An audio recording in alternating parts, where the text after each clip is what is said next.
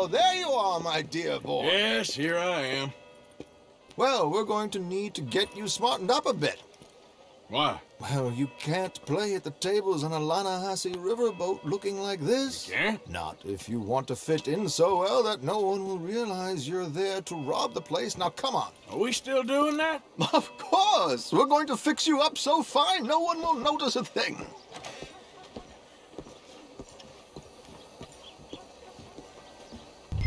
Hello, can I help you gentlemen? Yes, my friend here is in need of a new suit. We are playing on the riverboat this evening. Excellent. Well, you'll find all my inventory in the catalog here.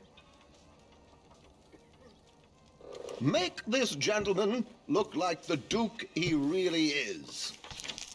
It was the English's fault his grandfather had to emigrate. A bitter and jealous people. You can see the aristocrat in his profile. The heavy brow from all the inbreeding. Might I suggest the fine three-piece town suit, sir? Perfect for the occasion, I'd say.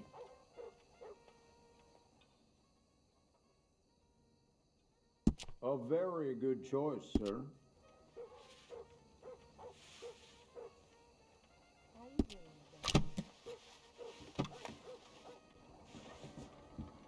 Come on, let's get you to the barber.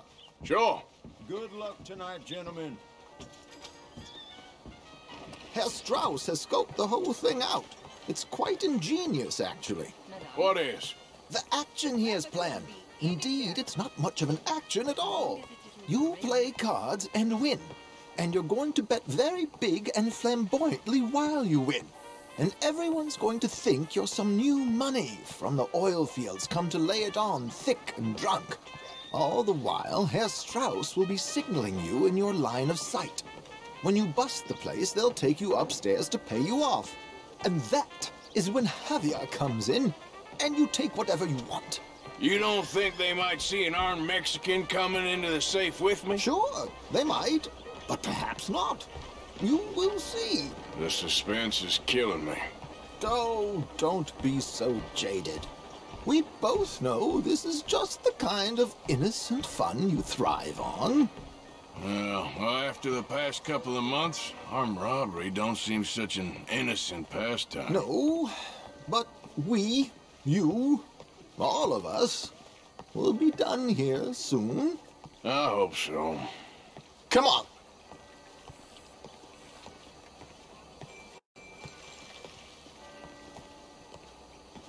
My good man, could you smarten up my dear hick friend here? Good morning to you.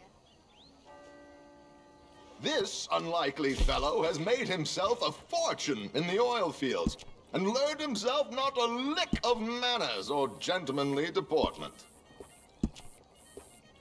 Well, very good, sir. No, it's not good. Not good at all. Not if they're going to let him play big at the tables tonight.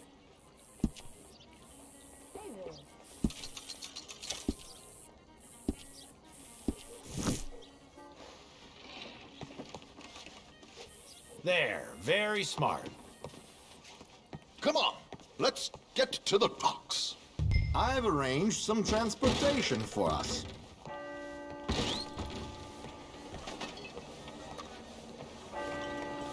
Hope you George, to the Grand Korrigan, please. Grand Korrigan, sir. Well, look at you. Some toad. Prince. Yeah, this is a bit much, ain't it? Coach? We can't whinny up there on horses like a bunch of countrified yokels. You're a brash oil man. Money to burn. Which reminds me, no shuffling and mumbling. Puff your chest out. Get outside yourself. Yeah, all right, all right. This ain't happening. So, who's a mark? You all right, by the way, driver? Oh, yes, don't worry. George and I go way back. It's a man called Desmond Blythe. Made a fortune in hosiery of all things. Likes to play fast and always keeps some extra collateral in the safe upstairs. So, if Strauss is sitting behind him, how does he know what cards I got? He won't. But the dealer has recently become a very good friend of mine. Another one. Don't worry, Arthur. We're all the authors of our good fortune. He'll make sure you get the right cards. What could possibly go wrong? Indeed. And what money am I playing with? Don't worry. That has all been arranged. Your chips will be waiting. There she is. Come on. Okay. Arthur, leave any weaponry here. They'll search us when we get on. George, we'll collect these from you later. Very good, sir. Thank you, George. Good luck, sir. Now remember what I said, Arthur. Everyone is the author of his own good fortune. Yes, yes, believe me, I heard every word. Watch Strauss, listen to the dealer, and this should be a very lucky night. How you been? There they are. Gentlemen, how wonderful to see you. Arthur, you remember this pair of boys we met in New York? Come on, Jim. Champagne is on dear old Arthur. He's rich as can be and feeling luckier than a turkey that survived Thanksgiving. Hello, gentlemen. Hello, dear boy. Come on, come on, let's head aboard. Drinks on Arthur. Champagne.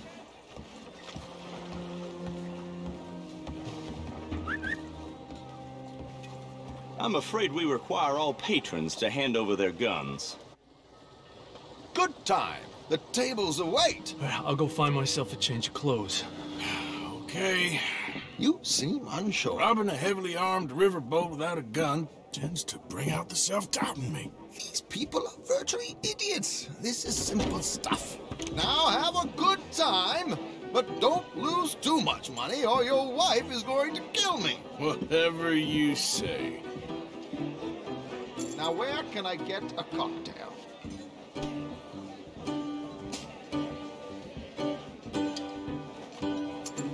Take a seat, sir. Good evening, gentlemen. Arthur Callahan. Sorry I'm late. I had some uh, unfinished business at the bar. Desmond Blythe. Evening. Not to worry. Welcome to the game, Mr. Callahan. Okay, gentlemen, let's play. Hope you're a player. Been too many cowards at these tables recently. Nothing less dignified than a man afraid to lose a little money. Look at this! Chips already stacked up, waiting for me. I like this joint already. We aim to please, sir. So, how are we all fared? Some better than others. If we all fared the same in life now, where would the fun be? Quite. Wait, not Desmond Blythe, the hosiery king. I should have brought my other wallet. Not my preferred title, but yes, you should have.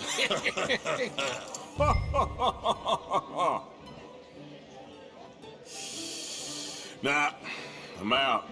Think I'll wait for this seat to warm up a bit. I thought as much. Maybe you should have another drink, Mr. Callahan. Here we go then. Well, Hello, let's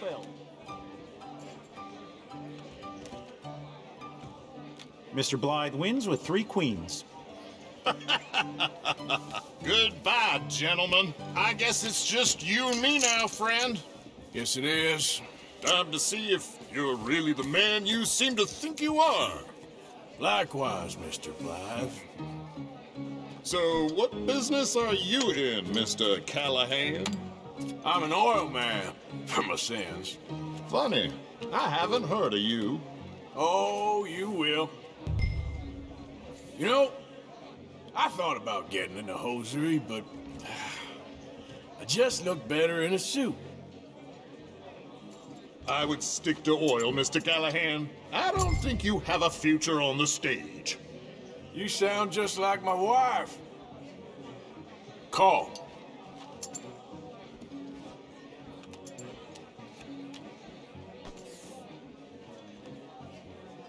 Okay, Mr. Callahan, I'm all in.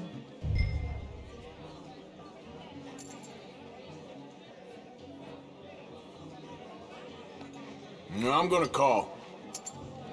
Interesting. Pair of cowgirls.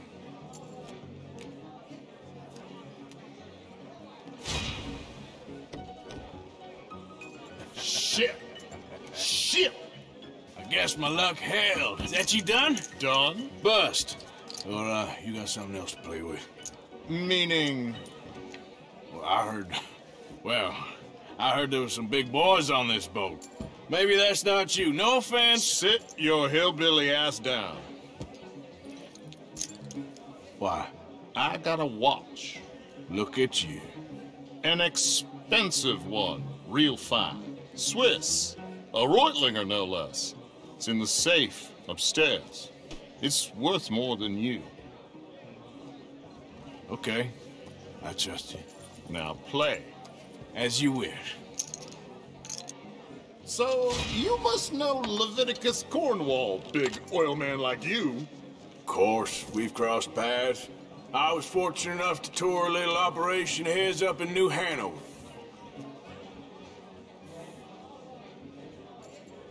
Let's not waste any more time here. All in. Don't worry, sir. Everyone is the author of his own good fortune. Well, nothing ventured, nothing gained. Pair of kings. Very good, but not good enough. Shit. Uh-oh.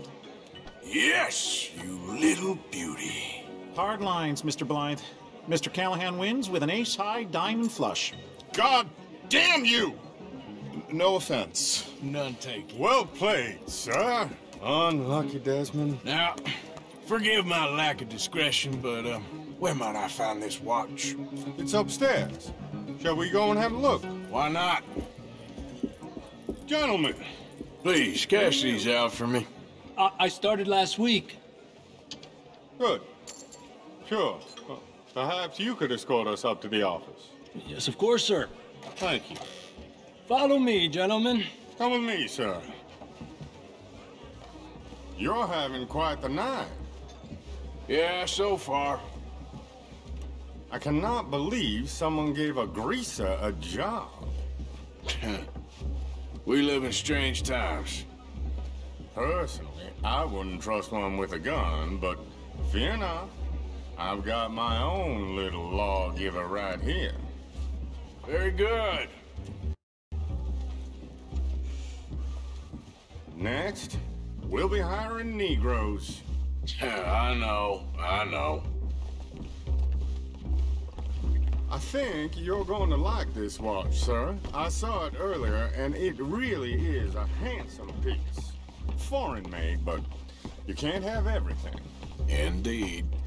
It's not like Mr. Blythe to leave here down. I'm sure you can afford it. Well, here we are.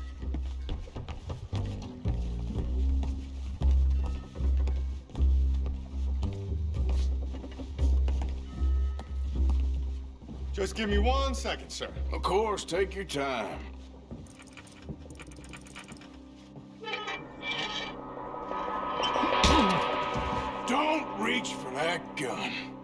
Take his gun, Arthur.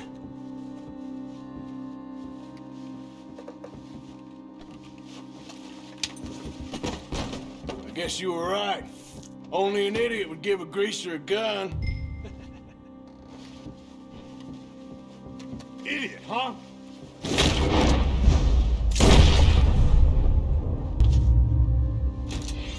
Shit, let's hope no one heard that. Quick, clear the safe. Let's get out of here. Can't believe that asshole had another gun. The view in here is looking pretty good. How much is there? Must be a few thousand plus the watch. Nice. Now let's get out of here. Come on. Let's go meet the others. Sure. I reckon we've only got a few minutes to get out of here. If we're lucky.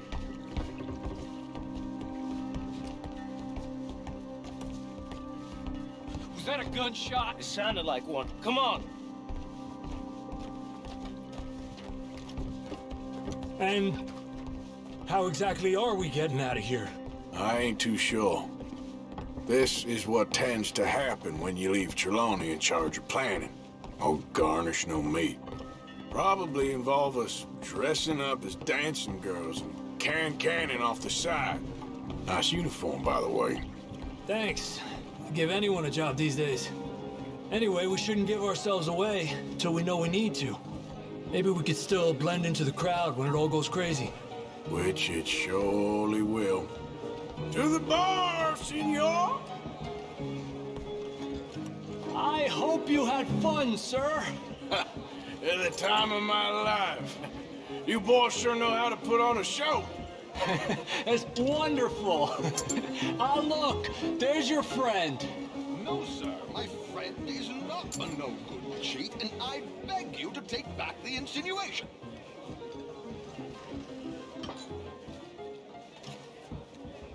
There he is. Now, don't be a sore loser, friend. There's something I don't like about the pair of you. There's plenty I don't like about you, but I have the good manners to keep my mouth shut. There he is! Shoot that man!